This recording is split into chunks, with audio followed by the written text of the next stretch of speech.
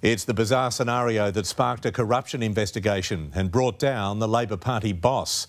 And today, the ICAC has slammed a former MP's explanation of how a Chinese billionaire came to deliver an Aldi bag stuffed with cash to the party's headquarters.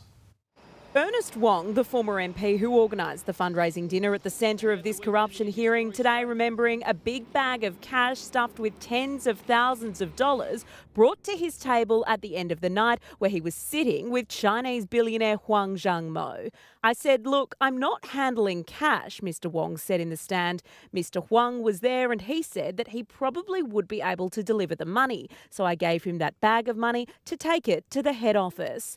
Mr. Huang allegedly arrived at Labor's Sussex Street headquarters weeks later. Why is a billionaire being used as a delivery boy? In the stand, Mr. Wong was again challenged about giving false evidence. At one point, ICAC's lawyer asked, Are you just making this all up as you go along? It seems highly implausible. Where did the money really come from? ICAC is investigating whether Huang Xiangmo made the donation and used other names to cover the fact he was a banned donor and get around a donations cap. Liz Daniels, 9 News. Hi YouTubers, I'm Davina Smith. Well, click here to keep watching Great 9 videos and subscribe to our channel here for lots more news, analysis and exclusive content. For breaking news, see you at 9news.com.au.